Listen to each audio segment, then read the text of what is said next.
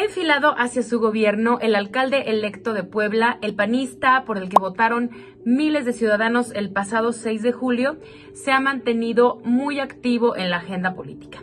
Esta semana hemos visto a Eduardo Rivera reunido con los diputados locales y federales electos. ¿Cuál es el mensaje? Primero, el de la unidad, trabajo en equipo en pro del bienestar de Puebla, un mensaje muy institucional. Pero ya entrando en confianza, Eduardo Rivera ha revelado que Marcos Castro es su carta fuerte para competir por la renovación de la dirigencia estatal del PAN en contra de Genoveva Huerta, quien buscará la reelección. Este proceso interno se llevará a cabo a mediados del mes de octubre de este mismo año. Precisamente ayer, 19 de julio, Eduardo Rivera se reunió con el dirigente estatal del PRI en Puebla, Néstor Camarillo, y con el coordinador de diputados locales, Jorge Estefan Chidiac. Los priistas aprovecharon para ver qué secretaría y dirección, o secretarias y direcciones más bien, podrán ocupar sus militantes en el nuevo gobierno, posiciones a las que creen que tienen derecho por haber apoyado a Lalo Rivera en la alianza que lo llevó a derrotar a Morena. En los próximos días, Néstor Camarillo va a presentar una lista de perfiles que buscan que sean incluidos en el gobierno.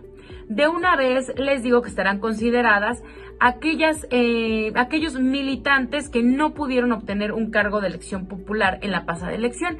Van a estar en esta lista Silvia Tanús, Sandra Montalvo, Lucero Saldaña, el tricolor solo va a presentar la lista de perfiles y será el alcalde electo quien se encargue de decidir dónde le conviene acomodarlos. En estos encuentros también Eduardo Rivera ha enfilado ya a Carlos Montiel como el coordinador de los regidores en el Cabildo de Puebla, aunque de la repartición de comisiones aún no hay tanta claridad. Lo que también ha mantenido muy en secreto el alcalde electo es quiénes encabezarán las secretarías durante su trienio. Hasta ahora solo sospechamos que Matías Rivero será contralor y que Alejandro Cañedo dejará la regiduría para fungir como secretario de turismo. En otros acomodos rumbo a las tomas de protesta de los nuevos diputados locales y presidentes municipales, ya se los habíamos adelantado en Periódico Central, pero hoy se los reitero, los coordinadores que eh, estarán al frente de las bancadas del Congreso de Puebla ya están decididos. Sergio Salomón coordinará a los diputados de Morena, Nora Meridno Escamilla estará al frente de los legisladores del PT.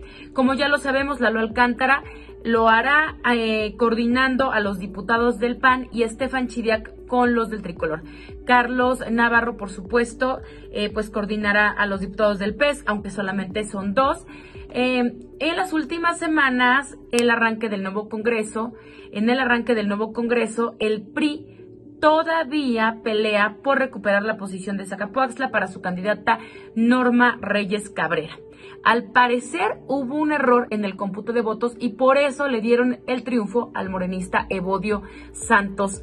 Si esto pasa y Morena pierde un diputado, entonces podría obtener una posición más plurinominal porque estaría al margen de violar el principio de sobrerepresentación.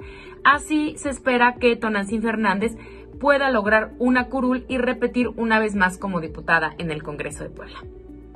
Soy Viridiana Lozano, directora de Periódico Central, y esta es mi columna que publico todas las semanas y que se llama Guía para Irreverentes. Gracias a todos por verme.